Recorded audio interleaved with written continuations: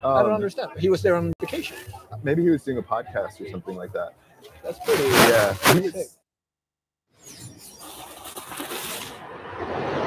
I can feel your love right to the bone. I take your heart, make it my own. Baby, you are mine. You know I'm yours. Now and nevermore. From it, from it on, till the day I'm gone. You know that I would never do you wrong.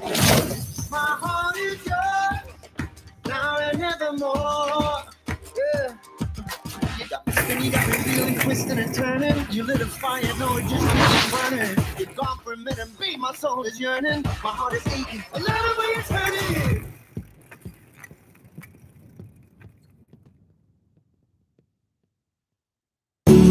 Wrong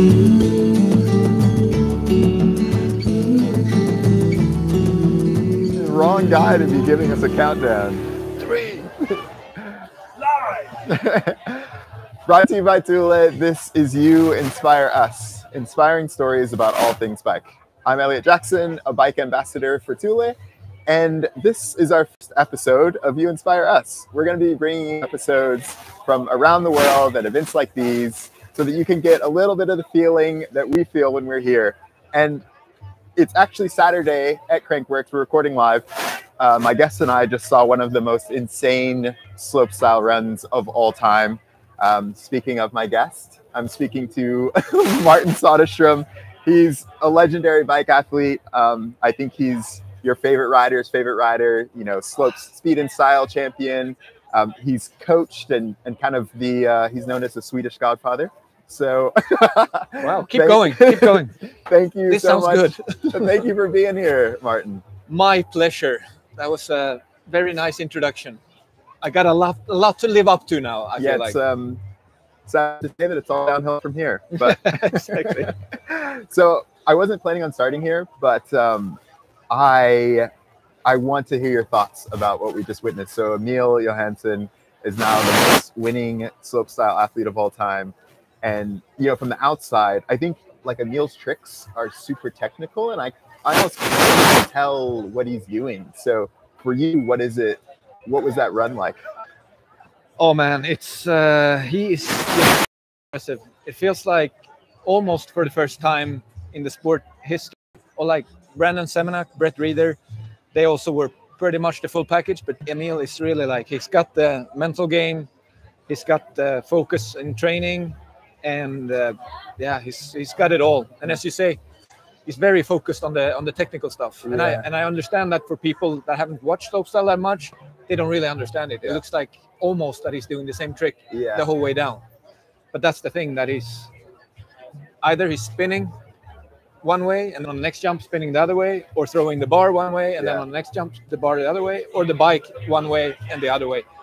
And it's super hard. Mm. I mean, everyone had probably heard about this thing when you um, tie your shoelaces with uh, the Ah, like start with the wrong foot. right. Like, yeah, yeah, That's not that hard. yeah. Come up with something that is hard with, but like throw a ball with the wrong hand. Like if you actually, there's no way I could do a um, bunny ears like loop, swoop, and pull, starting the opposite way. No, exactly. So, uh, but yeah, 360 triple table tail whips are a bit harder than tying your shoelace, but you get the point, all right? But I think it's interesting because um, do you think that like slopestyle kind of has to go that way? Like we saw like double backflips, we saw Nikolai Rogatkin doing 1080s and stuff like that. Like, does it have to to increase the difficulty?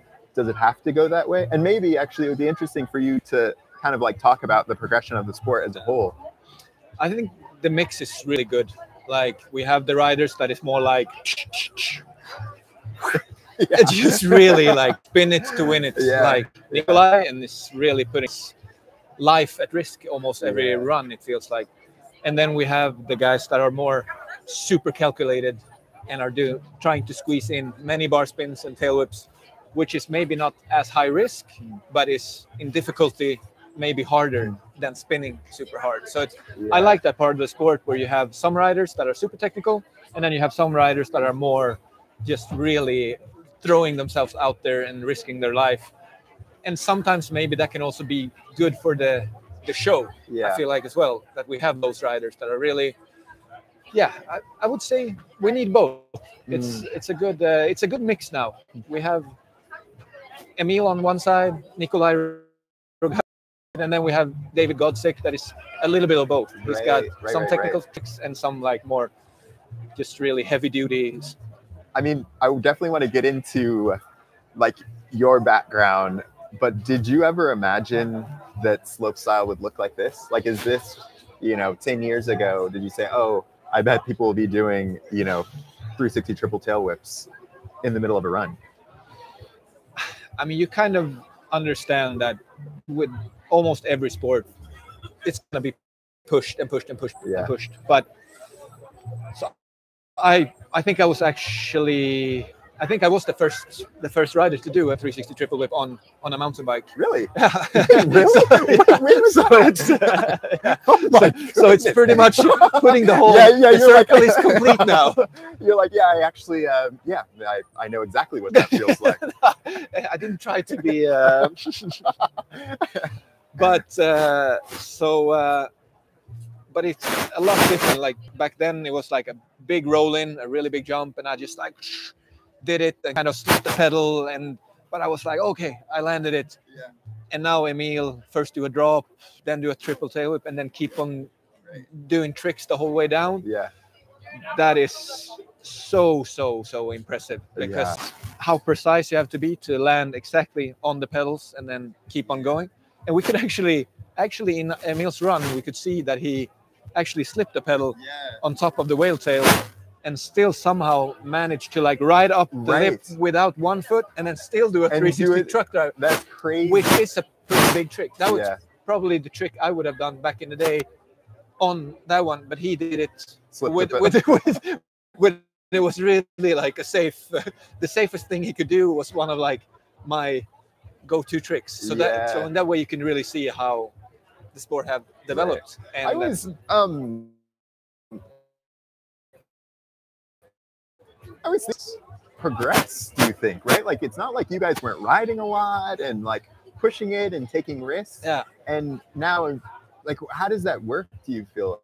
Like it is weird i now when i'm coaching some students and i hear the younger kids talking you almost get upset because they sometimes say like oh if i was riding back in your day i would be a pro and you're like "Ah, yeah it doesn't really, it doesn't really work like Right. that Totally. it's because everything is developing Right. it's, it's they have watched riders doing bigger tricks when i was a kid maybe you watched a backflip and were like oh i didn't know that was possible on a bike and now they're watching the kids are watching triple flips Right. and that's kind of where they set their bar so it's uh, and also you can tell now that airbags foam pits Mm. all these stuff um, back in the day was a lot more like Yeah. Yeah. you were you would I I remember my Let's- brother doing a backflip at our dirt jumps and like it was the end of the day. We had we had like dug up the landing to try to make it soft Yeah. and like it was insane. Like you you had to do it to dirt the first time. Yeah, it was uh, definitely different, but I would say it's better now. Yeah. because uh, back that wasn't very healthy to always. Uh, and also, as as you say, it's good for the product uh, progression of um, of the sport. Yeah. I mean, and that's what we talked about as well with Emil. That he's really he's really training. Yeah. Like sometimes when I was at the top of the like at my top level, sometimes I even got back from an event and I was like, okay, next weekend there's another event. I'm not gonna bother to take out the bike out of the bike bag because it's already packed. So I would just like, okay, I chill a little bit until the next weekend. But now it's a lot more like they come home, they build a bike, and then you train again, just Right. like any other sport. So I can I can sometimes miss a little bit. I can I can sometimes feel like I just want to tell them like enjoy a Yeah, little bit yeah. more, chill, and just feel that you don't have to push it so hard all the time.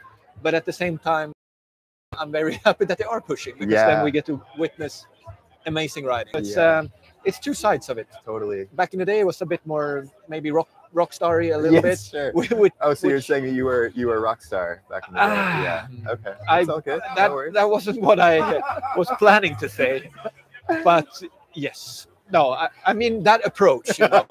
no, all We, good. uh, take it back. So I want to, I want to talk a little bit about like throughout this, this our conversation. Like, I want to touch on kind of the different phases of an athlete, and like you kind of touched on it a little bit there. Like, you know, you have your beginning, your rock star phase. but I remember uh, hearing you talk about how when you fell in love with mountain biking, you didn't even know it was a sport, right? Like you Mm. just thought of it as riding bikes and things like that. Can you take me back to the beginning, uh, like discovering the bike for the first time? yeah, now it can almost seem funny for people, I guess, that didn't even know the sport because back then I didn't really have internet, and uh, my friends actually, uh, my neighbor bought some New World Disorder movies online, Yeah, and that was kind of when we started to like okay so you can actually we really enjoyed like riding our bikes around and just doing wheelies but then when we saw people were jumping off cliffs and stuff and we were like this this looked cool. So uh, yeah. That's so interesting. so it was very free ride yeah, inspired back then. But then as with almost any sport first you jump off cliffs and then when you have jumped off a cliff then you're like oh i wonder if i can do a one-hander or no-hander or And a so you- backflip or a you were like immediately gravitated to tricks. Was it because because I I think it's interesting because when I first started riding mountain bikes, my friend showed me a bunch of World Cup race videos. Yeah. And then like I went off and raced the World Cups. Ah. Although I did see New World Disorder and I just thought it was crazy. Yeah. So like how did you kind of go from first starting Yeah. to ride the bike to say like, oh I, I want to jump off a cliff or I want to do a backflip or Yeah. I'm actually very happy that it wasn't a sport when I when I grew up because I could 100% do it just for yeah. the joy. I didn't have any plan to like I want to be a world champion or I want to get sponsors or it was like that was just off the table. It, Yeah. it was so far away that it would never happen. So I think those years I'm very happy that I had those years before even realizing that it was something. I just did it 100% out of passion with my my friends. We just went out riding, and it was yeah. I didn't have any like back back thoughts with it, with anything. It was just 100% joy. So uh, that was I, I'm I can really feel now that I'm really happy that I had those those years where it was no pressure and uh, and that. But then I could feel pretty early. I've always been pretty good at competing, so I I felt early that I that I was riding better if someone was watching. Interesting. And yeah, yeah, sure. so, because that is an interesting thing, right? There's some people are really good riders, but get worse when people are watching and the pressure, and some riders are maybe not as good even, but are better at competing and can like step up a couple of levels. the first time you kind of realized that?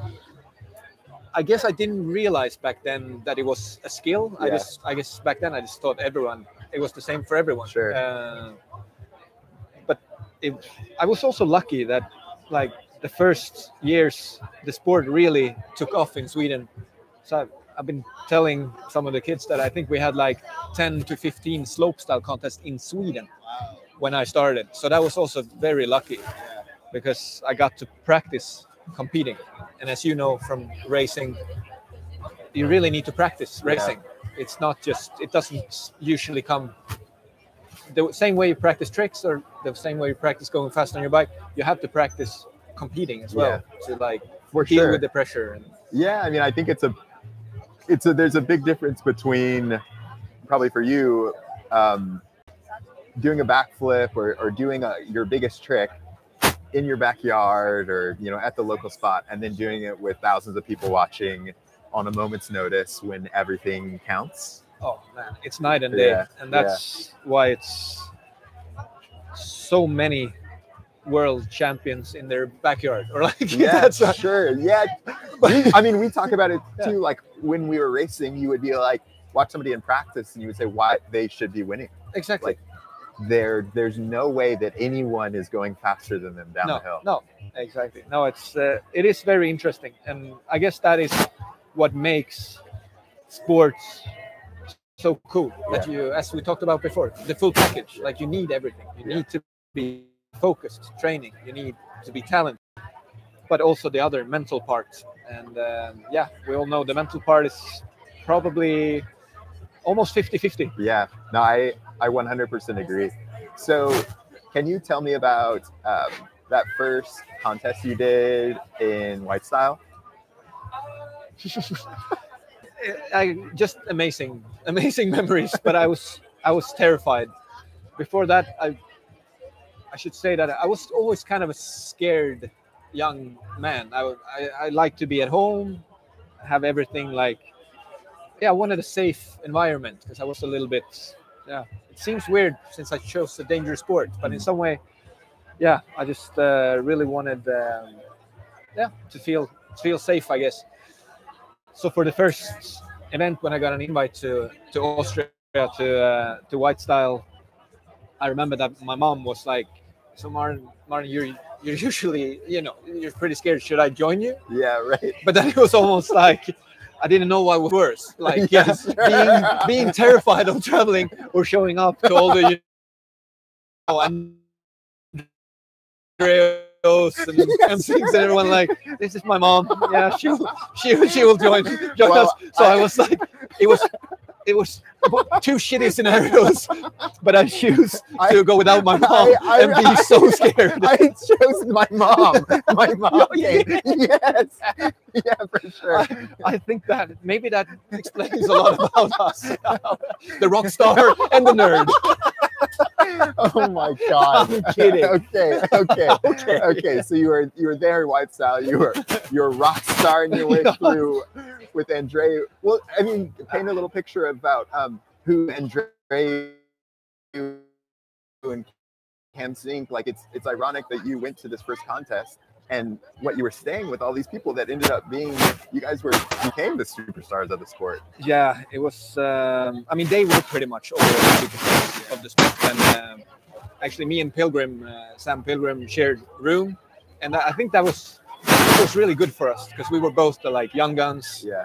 it would almost have been maybe not ideal for us to hang out with the super rock stars of the sport like the, the names i just mentioned Yeah. it was almost good for us to get to know everything and experience it together and Yeah. um, and then it's it's funny really fast both me and pilgrim kind of climbed our way into the the top the top level of the sport. And then i think for like almost five years we almost like first and second first and second on Yeah. on most events at least in europe. And then uh, in north america um, obviously brandon and Bearclaw and all those guys uh, battled there. And then back then it was pretty much just one crankworx in whistler so that was kind of when we always had the the Yeah. big uh, the big throwdown Sure.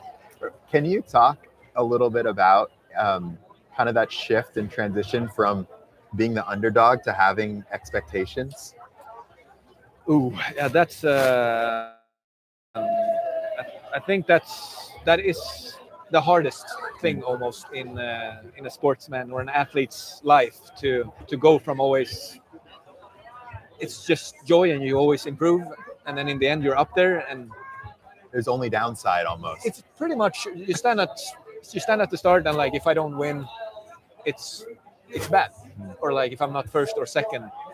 So that is um, it's hard.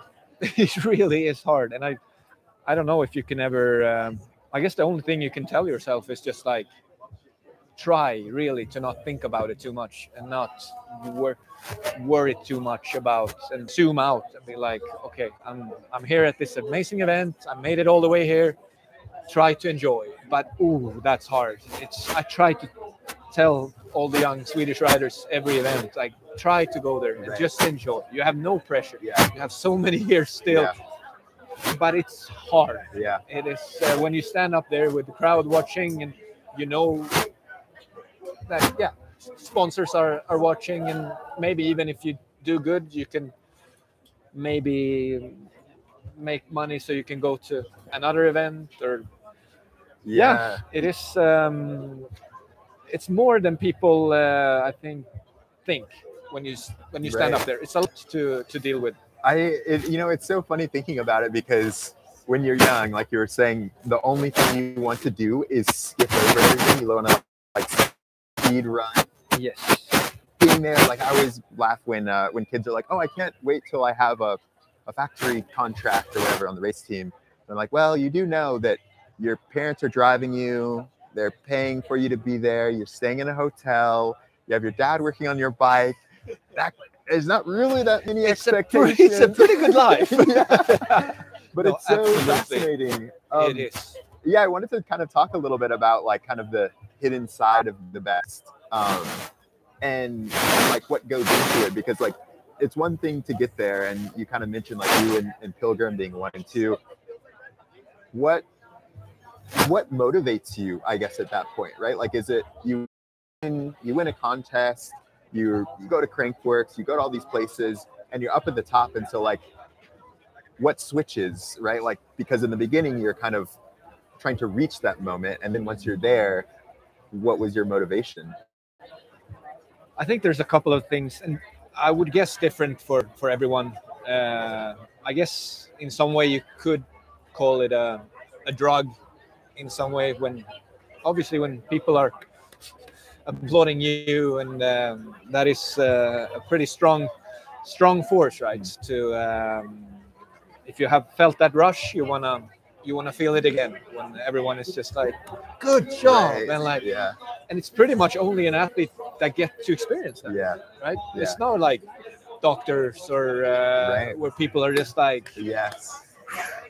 So was it was it's- it like for you? Was it um like standing on the podium that was the was the reward, or was it kind of the external feedback? it's, yeah, external feedback. That Uh-huh. People are just, uh, yeah, it really it gives you a feel, and it is such a rush. Like when you risk your life and everyone. I mean, imagine it's like, oh, you know all about it. That it's like like all your all emotions in your body just explode. Yeah. and. Um, it is uh, it is hard to uh, compare it to uh, to anything else, and I think that is why many most athletes may, maybe you feel that times, yeah, right. and then maybe ten times you feel this, yes, and then the older you get, or like more, Right. then you also feel and you're trying to get back. Yes, yeah, exactly, and then Yeah. after a while you realize, oh, maybe I'm never gonna feel that again. Right. Why why did I not enjoy it when I Right. was Yes, and there we get to that point again where you're like where we try to tell the the young kids enjoy it enjoy Yeah. it while you can because it's gonna be it's gonna be over fast Totally. but it's also easy to talk about this in a negative way that's not really not what i'm what i'm trying to do because it, it is an amazing journey and For it's something sure. that most people don't get to experience so i really understand why people are Yeah. working super hard to get to the point because It's- it is amazing it's uh it's so funny. I feel like we probably had the I've talked to a, a couple of different athletes, kind of all different disciplines, and it's so interesting because when you're in the bubble, like when you're there, everything feels like it's just the not not the end of the world, but it's it is the world. Like exactly everyone is here be, because they're here to see the competition, all this stuff. But then you come back in a different context. Like for me, it was when I first started working for Red Bull, and I would go there and I would look at all my friends and I'd be like, dude, you are stressed. like you Yeah. need to chill out. But it's almost impossible to to do that. It almost feels like as an athlete, you have to be in that because without that kind of tightly wound thing, like you can't perform at that level. True. It's uh, yeah. Maybe you need that to push yourself to Yeah. that limit. No, I I absolutely yeah agree. And so um, for you, I feel like it kind of got cut short a little bit early. Not that moment, I guess, because of your injury. Yeah. Um, tell us about that and, and kind of what that was like to go through. Yeah. No, just as you say, it almost. And I'm very proud of it. So it's not that I'm really on my top of the game fighting for the joyride win. In the end, Semenuk won that year, and I got second and broke my my leg, and was off the bike for nine nine months, I think. And I don't know. It's also leading up to that part. I didn't have a single injury, so it's like now when I think back at it, it's almost like, wow, I was really lucky that I got get to the top of my level before I had my first injury. So it's easy to be bummed that it could have been even better, but it could have been so much worse. Like now when I see athletes that maybe do their first or second event and get a bad injury, that is really hard to, to overcome. So, um, but obviously, I would like to go back and tell myself to chill now, take a year. You're still young. You're, I was 24 or something, and like you can work your way back. But obviously, like many people do, I was stressing, came back way too early, according to like how strong I was in the body, and then almost unlucky. I got a really good comeback, and I think I was second again in a World Tour event. So then I started pushing even more, and I was like, "Oh, I'm, I'm back again," and and then I pretty much had back-to-back injuries for four or five years. And after that, I could really, when I came out on the other side of that, I could really feel that my body was like so reminded of pain. Yeah. As soon as I jumped on the bike, I could still do the tricks, but in there I was like, it was almost like I, I, because my brain wanted to do it so bad that I Right. still, I still did it, Yeah. but I could feel in the air that I was like, I, I, hmm. I was, I, I was scared. Yeah. And then for many years I kept on going, but it was almost like when I got to the finish line, it was like, More of a oh, relief than yeah, yeah. I, I survived. Yeah. So it wasn't that, as we talked about before, it wasn't this rush when I got to the finish line and like, yeah. I'm the man. It was more like, oh, okay, I can keep my sponsors for, uh, for and I get my paycheck for Yeah. uh, a couple of more. Um, uh, so that's it's it's two, and obviously back then it was only pressure from myself actually. Like my sponsors have always been, I have to say that, have been very cool and like saying, do your thing, take it easy. So usually, sometimes you have idiot sponsors that push you hard sure. and that happens to uh, to people and that's a bummer but i would say most of the time the pressure comes from yourself Yeah. uh, and we usually are our own uh, worst enemies i guess Yeah. Yeah, it is. It is. Was there a moment? I, I think for me, I remember like coming down this downhill run, and like halfway down my race run, I was like, man, I would rather be anywhere but here. And that was kind of the moment where I was like, okay, this is not. I can't be in this mindset and be racing and all of uh-huh. these things. Was there a moment where you said, okay, I'm not going to compete anymore, rather than kind of push through this, you know, just pressure and relief Yeah. circle? i think for me it was almost my body that told me i think i've always been very headstrong Yeah. or whatever you say which is obviously a good thing but also a bad thing it also makes you not listen to what your gut or what your soul is trying to tell you. And i think my soul was tell, trying to tell me like martin you're you're terrified like you don't don't push yourself so hard to do these tricks and stuff. So um yeah no for me um now i kind of lost where i was but uh yeah, just like just being able to push yourself.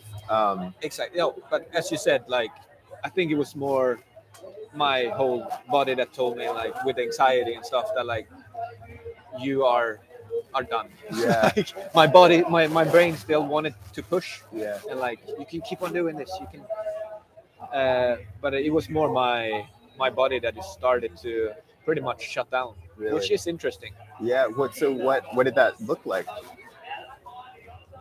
i mean people that have had anxiety knows that it's just you can't really you can't really control it. It's like you're trying to tell yourself like don't feel pressure like all is good everything is but you can just feel that it's something inside of you that is just and you're always like stressed even if you don't have to be stressed. Like when you just wanted to go out in the woods and just enjoy you try that but still something like eating you up from uh, it's, uh, oh it was really scary and and that's when you kind of realize that it's more it's more to life than like so but it was it was really hard for me to stop because also as a bike pro, as you know, you have the summer, and then you have the full winter. So then you also have time to kind of recover and be away from all the pressure for a bit. So then when I got to like when you start to sign contracts again in January, February, or like around that time, then I was like, I'm actually feeling pretty good again. I then the brain is good at forgetting. Like the summer was so and oh, I matured so much. I, Yeah. I can deal with that now. Uh-huh. And then when the season is, so that's what I'm a little bit bummed about. That I'm like, in some way, I just wish that I would have said, okay, I stop with the big videos. I stop with going to like the big events. Maybe even stop with the really big brands uh, a little bit earlier because yeah, I just pushed it so hard that almost now when I show show up to crank Crankworx, I almost feel like that my my hair on the arms and like are starting to rising just because my my my whole system is like reminding me like danger, danger. Yeah. In every way, This like is- yeah. physically, mentally. Exactly. Yeah. Which is such a bummer because I have so many friends here Yeah. And uh, it is just amazing memories. So, as I said, if you can maybe stop at a, I, if I can look back, I wish I would have stopped a little bit earlier, just so I didn't have to deal with all the really, really like dark, Yeah. dark stuff. That I wouldn't push myself that hard. Yeah. It sounds like maybe you stopped a little bit earlier than uh, than I did.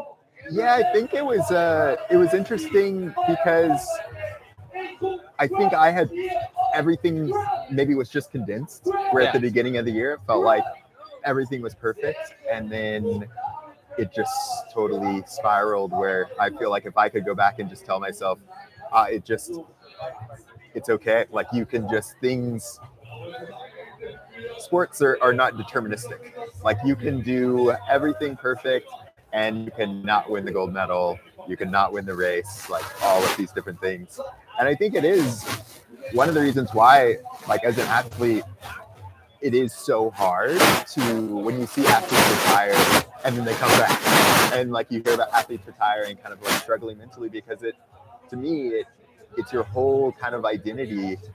What was that time like for you like kind of having this anxiety and like going through the the valley if you will i guess of like athletic retirement Yeah, no, in some way, I guess maybe it made it a little bit almost easier for me that I almost hit rock bottom. You know, yeah that I didn't have a I didn't have an option. yeah Like- like- the only, only way was out yeah, but seriously, and uh, it was in some way maybe that was good for me. Yeah. That's like I just couldn't like I felt anxiety as soon as I just thought about riding Yeah. a bike. So it was pretty obvious that like okay now you the most important thing is just to feel good again and like to so then for two years I yeah basically didn't ride my bike that much at all and just cross country skied was riding a lot of like fitness biking like road biking and, uh, and cross country riding and entered some entered some small small events in uh, in Sweden and stuff and I think that was also really good for me to just feel like a beginner again Yeah, and sure. feel feel that joy again Yeah. after like pushing for so long Yeah. to just yeah do something completely new and also maybe use something new in your brain like diff I mean it's obviously still biking so it sounds like I, I did something completely different but it felt like I did something Yeah. completely different and um, yeah but yeah to turn it around now I it was very good for me. And now I can at least I can see why I feel the way I, I do now when I show up here at, at Crankworx. And I can kind of separate that like okay Martin it's fine that you are scared when you show up here because you can remember. But try to like enjoy seeing your friends again seeing your partners and like yeah. everyone and, and it's it's it's humbling as well now when I've been away from the sport for two years that you know when I'm at home no one really recognizes me on Yeah, the- on the sure. street. So when I'm walking here I'm almost like I'm so humbled when someone comes up to me and like can I have an autograph? You know, it's like it's really like oh my god he remembers me. And it's like and it, it yeah, and it, it is a really cool feeling. Like Yeah. before, it was like, oh, so annoying to Yeah, another sure, autograph, and yeah, now sure. it's weird. Like when you take things for granted, it's Yeah, like, totally. but now when you've been away from it, it's Yeah. almost like,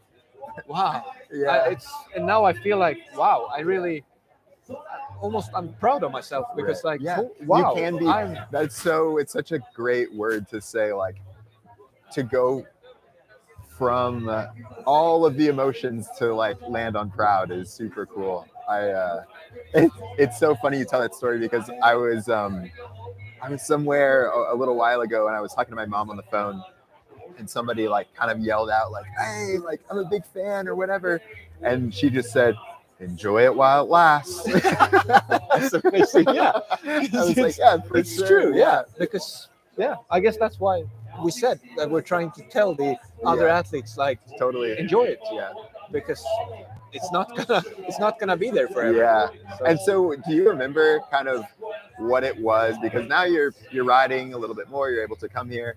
What was the thing that kind of sparked that joy of biking again?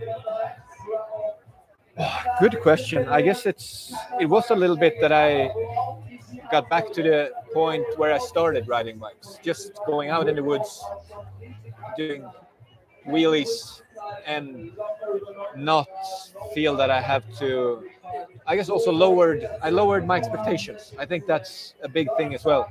When i was at the top of the game i always felt like every time i go out and ride i need to perform. I need to be the best every time i ride my bike. And that is draining so uh, to be able to go out and be like you know what? I have nothing to live up to. I don't have to be the best today when i go out on a bike. I can just do a skid and feel good about it. Yeah, like sure. i don't Look have back. to exactly. I don't have to put up a camera and then realize like oh i could have done that better. I could have it's i think that's important. And i think for me uh, as I said, I really enjoyed. I really, really, really enjoyed the beginning when when I just went out, being in the nature, just yeah no pressure. And I think that I was so good at, I was talented at competing, almost made it that I felt that it is what I have to do, or like it was almost like it wasn't what I that it wasn't why I got it, why I loved biking in the first place. It wasn't. It just happened that I started competing, and I think that's why I I kind of forgot about what I really loved to do, which was just being almost by myself in the woods and just jumping on a small Yeah. stone sure but then when all the crowds and everything came around I, I think i just kind of forgot about that. Yeah.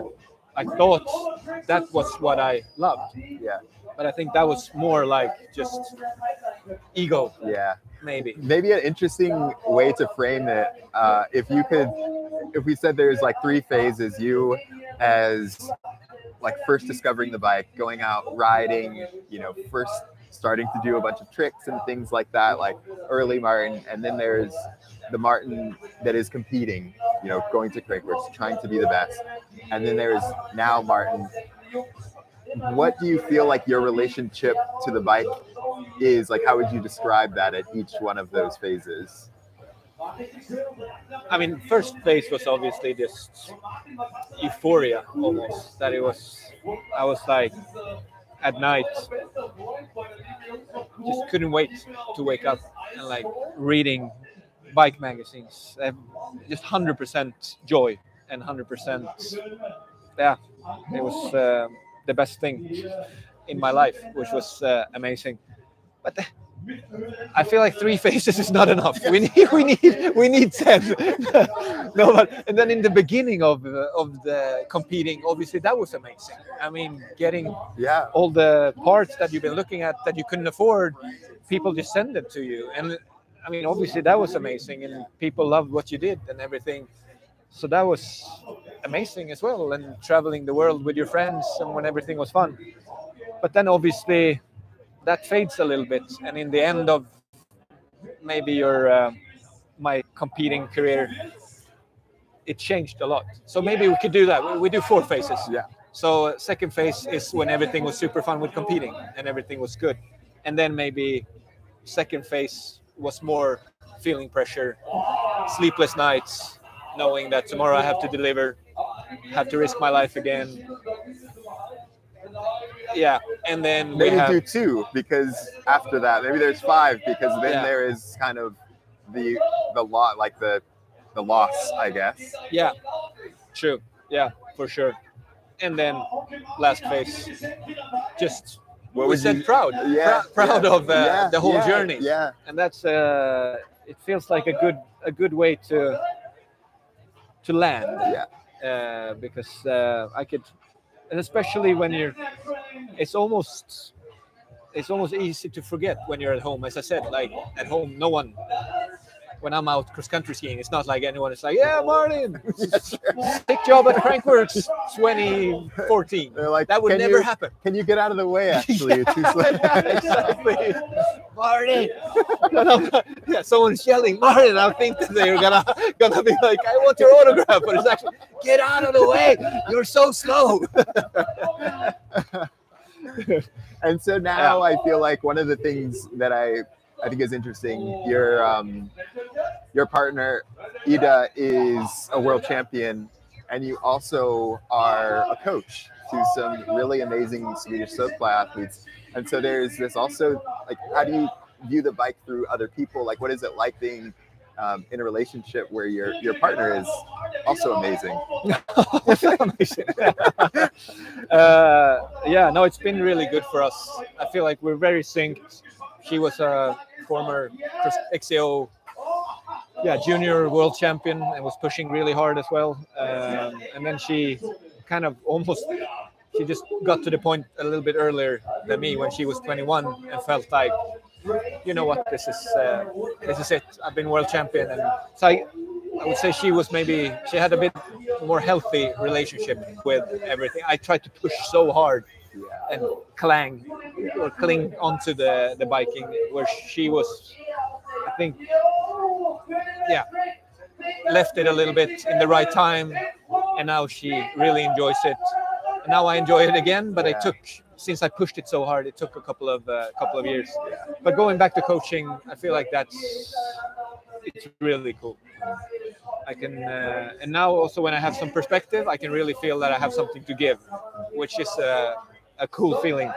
I think when you're when you're an athlete yourself you're so in in, in your own head that it's almost hard to focus on other other people. And maybe after a while you also need it to sink in maybe and to figure out like what did i do wrong or what did i do right?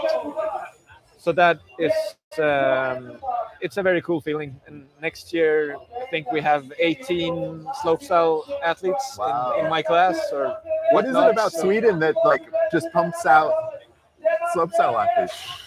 dude it seems like yeah everything we we touch now turns into gold almost yeah but like Yeah, sure. it's been crazy like since i had my breakthrough almost straight after we had anton Thelander uh, max Fredriksson, and then so many i mean every year we almost had like those main main riders but almost like a new one a new bubbler like com- coming in as well. And same that is almost the coolest part that now I've had one student for three years and he just eh, graduated and he's now he was in the in the event today. So that feels like yeah, a really cool journey because he was also like the first first one I had from start to graduation graduation all three years. So it's uh, I feel like yeah it, it feels very cool to uh, to see him as when he started when he could like barely jump and then now see him in at crankworx. It's uh, then you almost feel even more how cool it is to be a coach Yeah. and to see them uh, grow up so fast Yeah, yeah. I can hear it in your voice. Totally hear it in your voice.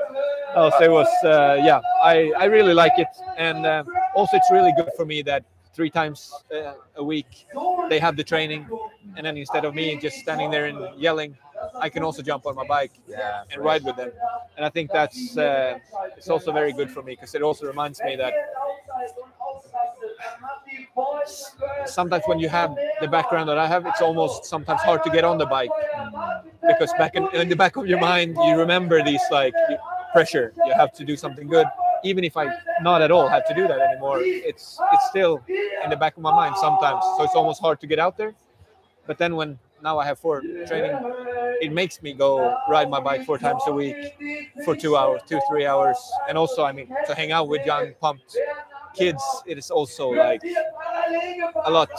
It, it's the perfect way for me to, since in the end it was a lot serious for me with biking and to see them that have that joy that I had when I started riding also reminds me of the very amazing parts about bike riding. So uh, I'm in a in a good spot right now. That is so cool. What a like many, many full circle moments. Yeah, Like- throughout this, yeah, we've been we've been around. I'm almost dizzy. Okay, so I have a couple of bonus questions for you. Um, do you remember your earliest memory on a bike? Ooh, it was uh, when I was uh, 11, I think. I went to the local bike shop, and I was there every day after school, looking at this B1 Sydney model of uh, a mountain bike. But my parents were like, "Ah, it's way too expensive. You can't, you can't have that." And I think it was like 500 euros. So cheap, cheap bastards. No, but, but they were like, no, we can't, we can't put that on a bike. Like you're just gonna ride to school and back. Uh, so I, I still remember, and I also, I still get a nice feeling when I go into a bike shop with that rubber taste because so like you, it's not even your earliest memory is not even like being on a bike. It was like seeing this like yeah, yeah, like standing there in the, and it was like up there almost on a like on a shelter, and I couldn't, I couldn't reach it. And then one day, my parents, or like for Christmas, they bought me that bike, and uh, yeah, it's it's also really crazy with this butterfly effect. How, how like if I wouldn't have got that bike, Right. I wouldn't be a bike rider. Yeah, I And know. how crazy is that? I always And like if my neighbor wouldn't have, if I if my parents wouldn't have moved into that house next to the neighbor that looked at the New World Disorder movies, I wouldn't have been a bike rider. How scary is that? it's so wild. I, I had, I mean, my intro was almost the same where I was used to ride a bunch of dirt jumps, and there just happened to be a mountain biker that was there, and we used to make fun of him because who rides mountain bikes? Yeah. And and then he was like, "Oh, you should come and ride some downhill," and I borrowed a bike. I loved it, and then he showed me a bunch of race videos. It happened to be World Cup videos, and then you know, next thing you know, I'm in Whistler, and it's uh, it is like these little tiny moments that you don't even realize. Almost scary, but uh, very cool at the same time. Yeah. So um, So, my next question: When you first started riding bikes, uh, what did you think was impossible that you think is easy now? What I thought was impossible, Yeah. make a living out of riding a bicycle. now it's easy. You're just here, just cruising. so easy. Yeah. Just send some I what I take away from this one is it's easy to make a living and you're a rock star. Such a humble guy. okay. No, I didn't think about it like, ah, man, you're you're twisting my words. I told you we were like talking about gotcha interviews, and next thing you know, okay. Um, Uh, what is one thing that you want to do for yourself this year? Wow, that is a good uh, a good one. Um, wow, I'm not very. My girlfriend would would admit that I'm not very generous, like with, with myself. I don't have the very high expectations in in life. I guess. Yeah, I guess just enjoy enjoy life. Much. I don't need that much in life just to. Uh, yeah, just feel feel good Yeah. and uh, yeah, enjoy enjoy life and finish finish my house or our house. Yeah. Yeah. Yeah. Yeah. Oh, that's amazing. That's Uh, a great. Yeah, That's a we, great one. we bought a we bought a house and it feels really good. Yeah. So it's, uh, yeah, finish the finish the garage, have good uh, yeah all the old uh, Red Bull helmets, Yeah.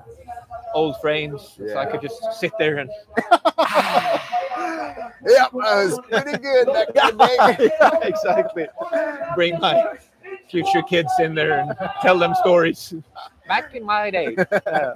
okay, so our final traditional closing question is who inspires you? Wow, uh, who inspires me? I guess anyone that can keep it fun still and find a way to like, yeah, do do what they what they love and uh, without getting too much focused on money or uh, things like that, and just staying with uh, the pure the pure passion. And uh, i hope i hope i'm moving that that way. At least that's uh, that's my my goal. I don't know if that's if, if that was an answer to your question. I think that's a great one because I think that's actually so incredibly hard to do something that you love for a long time and and continue to love it. Yeah keep it. as it. you did at the start. yeah exactly. Keep it keep it fun. So uh but yeah anyone anyone that does that i can't point out a specific person right now but um, that person is is out there. I'm gonna find them. And i'll get back to you Well, Martin, thank you so much for joining us. It's been so good. thank you Yes. always a pleasure Yeah. you're uh, very good at your job you.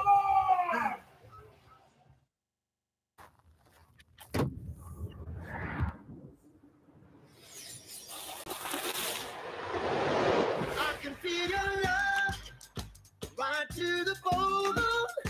I take your heart, make it my own. You are mine.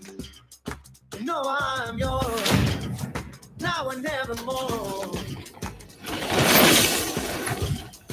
From it, from it on till the day I'm gone. You know that I would never do you wrong. My heart is yours now and nevermore.